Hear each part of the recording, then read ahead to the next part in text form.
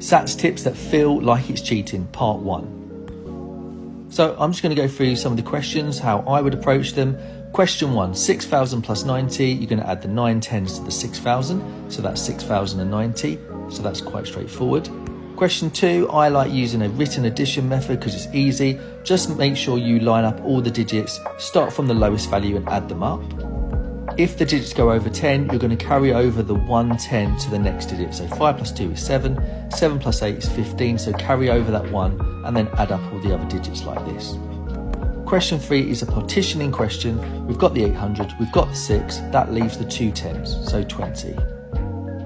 Question 4 has a missing number at the start, so we're going to do the inverse. The opposite of add is take away, so 341 take away 5 equals 336.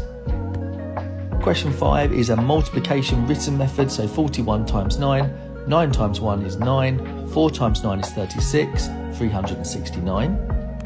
The key thing for question 6 is to make sure you line up the decimal point, and once you do that, all you've got to do is then add it up like a normal regular addition method. So 3 plus 0 is 2 plus 7, 1 plus 8, 3 plus 5, and then you get your answer. The next question is 180 divided by 3. Well, 18 divided by 3 is 6, so 180 divided by 3 is 60. It's just 10 times bigger. Again, use your times table knowledge for question 8. 12 times 10 equals 120, so 120 divided by 12 equals 10.